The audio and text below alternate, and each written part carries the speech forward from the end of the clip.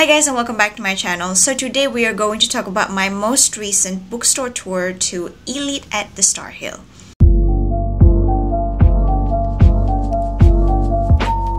So just like Tsutaya, Eslite is a bookstore uh, company uh, based in Taiwan and it has quickly become one of the new upcoming hip bookstore in the big city in Kuala Lumpur. And if you have been pronouncing it as S Light all this time, no, it's actually Elite. The S is silent. I actually went there for a Hana Al event. Most of us are adults with the resources and emotional capacity to figure that out for ourselves. Um, and they were acting out in ways they normally wouldn't have. And that video is baking in the oven, so stay tuned. The Starhill as a mall is actually a very exclusive. It's like a mini mall that has a lot of super duper luxury stuff over there. First of all, when you want to walk in, you can actually enter from various entrances. You can enter for the main entrance, obviously, which will be immediately greeted by the stage. Uh, you can also enter from the side, which is where uh, the first thing that will be greeting you is the stationery store. Also, if you're in the lower floor, you can still access it from another escalator that will lead you right into like a bridge. Uh, the bookstore actually occupy almost half the floor of the Starhill. And the layout is surprisingly quite unique, I'd say. I think you can put it in the same category as BookXcess from MyTown Cheras. Uh, but I think that I might actually am a fan of uh, BookXcess at MyTown Cheras more. It's not in the same vein as BookXcess in Chinatown just yet because that one is just on a different level and it has a lot of layers of heritage there. But this is actually quite cool and it's quite unique. For me, the book choice was fine. And of course, for now, Kinokuniya's um, collection is just simply unbeatable. But if you want to compare it to uh, its brother from a different mother, Tsutaya, I'd say Tsutaya is um, has a bigger collection, which also kind of understandable since uh, based on size alone, Tsutaya's ground cover is much bigger. But still, these two cannot beat Kino in terms of collection, even though initially when Tsutaya was open, it was hyped as the bookstore that could be Kinokuniya's competitor. But still, not really. And if you just uh, say, if you bought a book or if you're looking for a place to work or study,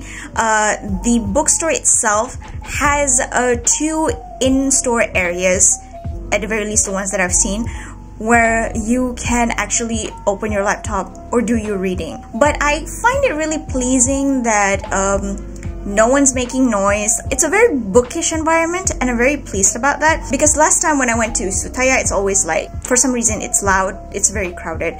But I guess it's because at that time it was very newly opened and people are super hyped about this so-called brand new lifestyle bookstore with cafe and nice view and unfortunately really awful lighting. Seriously, the lighting in Tsutaya is not made for a bookstore, which is why I'm really grateful with what Eslite has done. The lighting is good there because of the opening in the middle and also the skylight. So you get a lot of natural lighting and it was actually really peaceful. And the bookstore also has an in-store cafe where you can uh, enjoy your tea, your coffee, your hot chocolate or juice while enjoying your book. And especially since the bookstore is on the edge of the opening and there's a lot of natural which should be good, but it's not gonna be comfortable when the weather's hot you will probably prefer a more air-conditioned area. And if you have finished purchasing your books and you want to hang out at the cafe,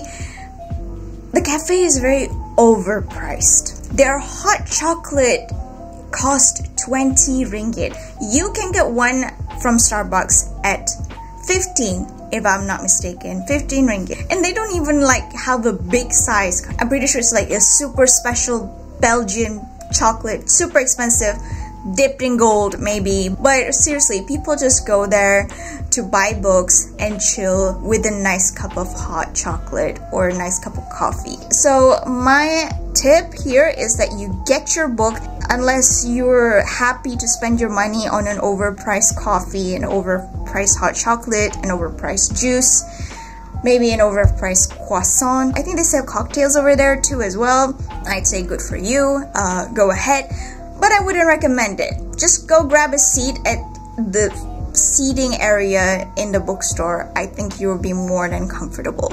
Just like Tsutaya, it also has a lot of uh, unique stationery, unique ceramics, unique uh, cutlery. There's also even a shop that sells DIY perfume and of course in there there's also an in-store Cath Kidston. Surprisingly, the lifestyle stuff that was sold there was not as expensive as Tsutaya. And if you're traveling to Malaysia, I think some of the stuff there actually makes really good souvenirs. There's a lot of localized design that, that has a lot of references to culture, and but at the same time, it's being very modern and cute. So aside from the DIY perfume section, the Cath Kidston, uh, there's also a separate section for pens. I'd say if you're into like um, calligraphy. I think you will be really fascinated because I went there, I was really blown away. It looks like a winery. It looks like a speakeasy bar, but instead of selling alcohol, it sells you ink. Uh, I can tell that they have been very active in uh, attracting people to their bookstore through inviting uh, authors and speakers because I see a lot of events lining up. They have a good audio, they, they have a stage and all. The setup was quite nice. And they also have two different areas. This one large area that you see first thing when you enter in through the main entrance. And there's also another area for kids, specific for kids event. And I see that parents really like uh, taking their kids to Eslite, maybe because of the abundance of uh, children activities there, the reading for children's book. I'd say it's a good thing on their end. They have been very proactive. If you're a parent and you're looking to ignite your children's interest towards reading, I'd say, yeah, it might be a really good place to start. So to conclude, Eslite um, feels more like a lifestyle store. I realized that because I noticed that their stationery area is almost as big, if not more, than their bookstore area. It's like a 60% book and 40% stationery, which is not really a problem per se, but I guess this is like a preference thing. Unfortunately, like I said, the collection wasn't as impressive as I expected, but it is a really good bookstore if you're just looking for a place to buy books and read them afterwards. So that is my review of the Eslite bookstore at the Starhill. If you've been there, what do you think? And if you haven't, would you go there? So anyway, thank you guys so much for watching and I will see you guys in the next one.